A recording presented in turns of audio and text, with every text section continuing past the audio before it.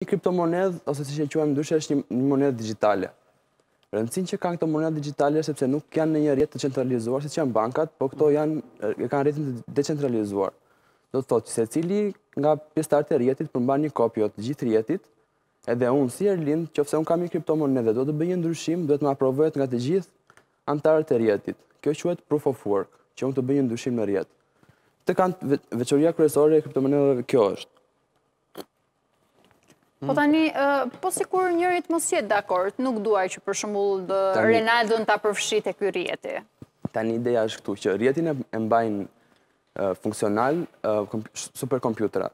Këta superkompjutera bëjnë që duke zgjidhur funksione matematikore, këta krijojnë një hash, që është një çelës privat për secilin bllok, e duke krijuar këtë hash, bëhet njësimi i blloqeve në të gjithë Do e shpjegojmë, do e shpjegojmë pastaj çfarë është hashi dhe çfarë është blockchain se është shumë interesante. Marr vesh unë kështu një bllok e një hash.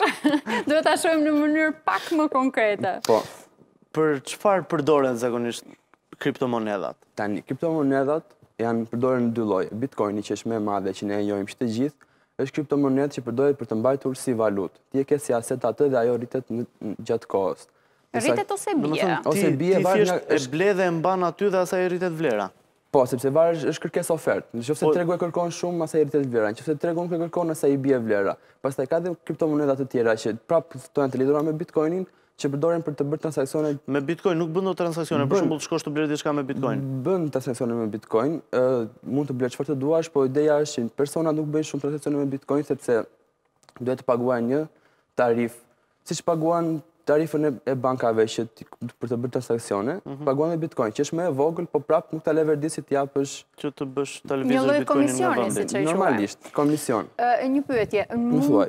Shumë pyetje në fakt. Duhet një mirëmbajtje e këtij Bitcoinit apo ti e fut aty në portofol? në portofolin po, digital, edhe nuk bën asgjë tjetër, vetëm rri ajo monedha aty, rritet ose bie sipas tregut, kaq. Po, janë dy nuk ka nevojë për mirëmbajtje, në qoftë se ti e fut në portofolin tënd digital, mund ta kesh portofolin digital janë edhe në kompjuterin tënd, po edhe portofola të ftohtë, quhen që janë kanë akoma më shumë siguri që janë USB specifike që ti e Bitcoinin tënd e vendos aty, edhe e mban diku të fshehur në një kasafortë që mos ta aksesojnë, sepse ka ndodhur që hakerat kanë hakuar... Të gjitha këto janë digitale, se nuk e fusin bitcoinin kështu në kasaforta jo, tradicionale që... Apo jo, jo, po, USB-në, mund të fusësh... Mund të fusësh USB-në që ti ke bitcoinin, e fut në një kasafortë, dhe po e shpjegoj në mënyrë sa më të thjeshtë, e fut në një kasafort që personat mos të mos të hakojnë, sepse ka ndodhur që kanë hakuar portofolat që i kanë pasur në kompjuter, edhe hakimi më i madh ka qenë kanë hakuar 800.000 bitcoin. 800.000 bitcoin. Sa ishte bitcoin sot, a s'e? Bitcoini nga dje që ka qenë 68.000 dolar, sot ka rënë 66.000 dolar. Një bitcoin? Po, një bitcoin tani aktualisht ka vlerën 66.000 dolar. Mbaj mend kur ishte në fillim që filloi të përdorej Bitcoin ishte një picier. Që është meraku i madh i eh, Renaldos. Po, në jo, ishte një picier në 2009 që e jepte pizza në këmbim të Bitcoinëve. Ti mund të blije një pizza për një Bitcoin. Po, është transakcioni i parë me Bitcoin është bërë në vitin 2009 nga një person që ka blerë dy pizza te Pizza Hut dhe këto dy pizza kanë pas vlerën 10000 Bitcoin që atëherë ka qenë diku te 40 dollar, 10000 Bitcoin. Tani 10000 Bitcoin sa janë? Bën 660 milion dollar. Ja, çfarë kemi humbur. Po tani, pyetja mhm. më e madhe është për prodhimin e tyre. Pra, shpesh quhen minatorë, ata njerëzit që merren me po. këtë punë, duhet një energji jashtë zagonisht e madhe për të pasur një hidrocentral më vete, mhm. si si ndodh kjo? Atëherë, kjo ethet e bitcoinit që kanë kapur që nga 2016-2015 kur bitcoini filloi të rritej, Është quajtur si ethet e floririt, sepse e dim që bitcoini është i fundëm, nuk është se bitcoini është i pafundëm. Ekzistojnë rreth 21 milion bitcoin dhe aktualisht janë gjeneruar 18 milion. Pra, Erlind, se është edhe diferenca 3 milion që... Ku janë këto bitcoinet? Dhe si, si merren, si gërmohen, si, si po, gjenden? Dhe në qoftë se regjia na e mundëson pak Po, kemi edhe një grafik, Erlindi Një grafik shumë të thjesht për ta shpjeguar më e dim që është mëngjes, dhe po flasim për Bitcoinin, po ideja është aty, afrohu aty te ideja është që Bitcoini tani unë kisha dëshirë të shpjegoja edhe pak fare blockchainin, sepse Bitcoini funksionon në bazë të blockchainit. Blockchaini është një rrjet shumë i madh blloqesh, po të, mhm. po ta them sa më qartë, e secili Bitcoin identifikohet me një hash. Tani personat që Çfarë është një hash fillimisht? Një hash, hashi është numri identifikues unik për një Bitcoin. Ok, është si, si numri ID-së një Bitcoini. Po, po është si, si janë tonat të gishtave, neve okay. këto i kemi unik edhe hashi kështu është për Bitcoinin.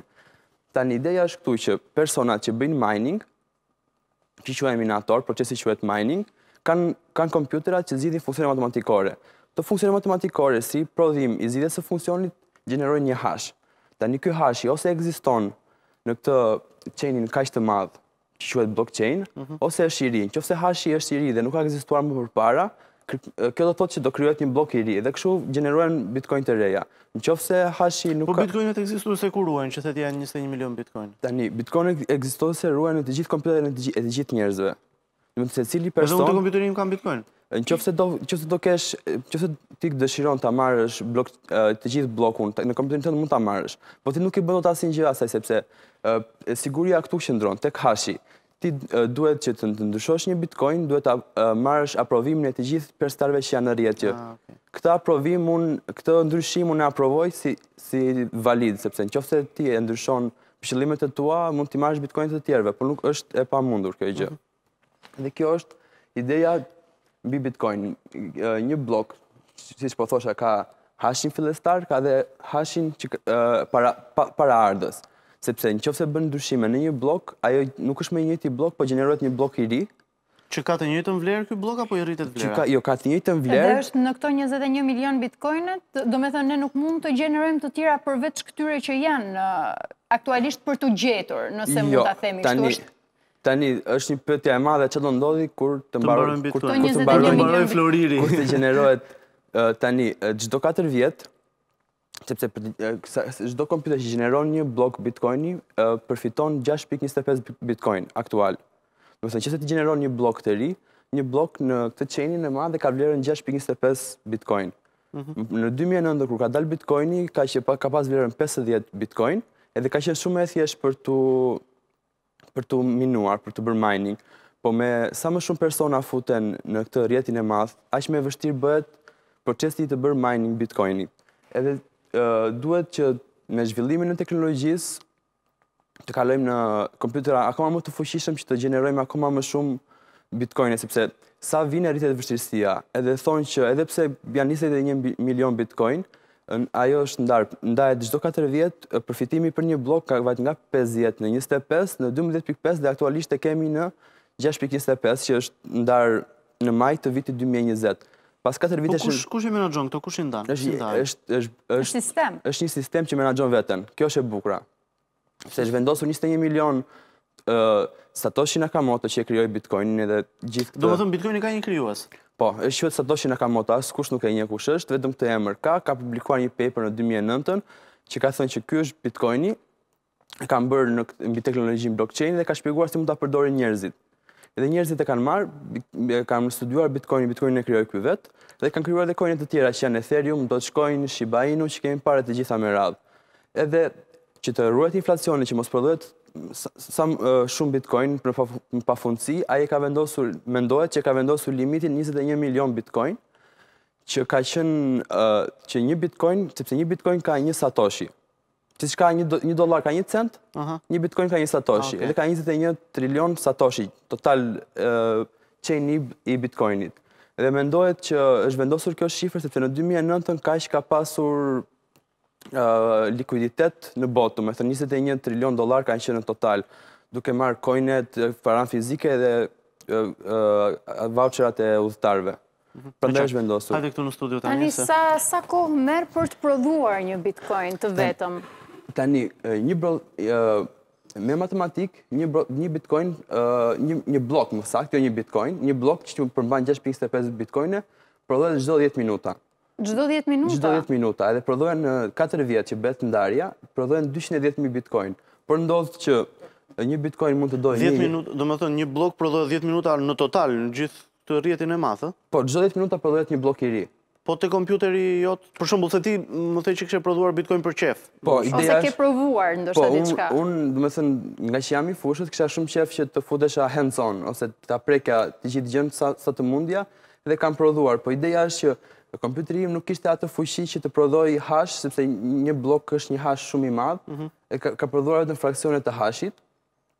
Edhe nuk unë nuk e kam pas mundësinë të prodhoja një Bitcoin të plotë, sepse është duhet një super kompjuter shumë i fuqishëm ose një grupim i madh kompjuterash për një kohë të gjatë të prodhojë një Bitcoin. Sa shkoi fatura elektrike për energjinë elektrike gjatë këtyre shkrimeve? Unë nuk e, e lashë disa orë e lashë, se është dhe zhurma është, zakonisht shumë e madhe, po problemi është te energjia elektrike është edhe te ftohja e këtyre pajisjeve, sepse në Shqipëri domethënë është si biznes, është si akoma i jashtë ligjit siç e folëm, domethënë nuk ka një ligj që ty të pengon të prodhosh Bitcoin ose ta tregtosh.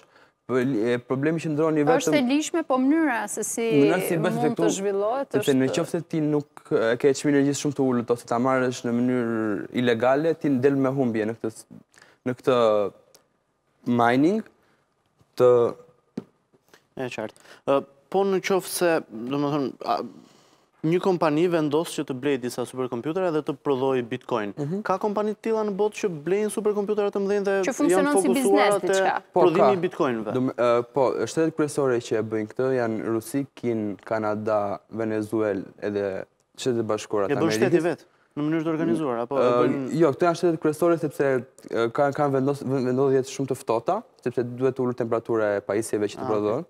Edhe duhet kanë energji elektrike kosto shumë të ulët. Në Rusi ka qenë shteti vetë që ka pasur fermat e veta që prodhojnë Bitcoin, po janë në shtetet e tjera siç janë për shembull në SHBA edhe dhe në Island ka, sepse në Island është shumë ftohtë dhe energjia elektrike është shumë e ulët, mhm. edhe ka kompani shumë të mëdhaja që dhe prodhojnë pajisje për të shitur për njerëzit e tjerë që të prodhojnë Bitcoin, po dhe këto pajisje që prodhojnë vetë i fusin në ferma që të prodhojnë dhe ato. Pra po zhvillohet një treg në funksion të prodhimit të Bitcoin. Një treg i jashtëzakonshëm.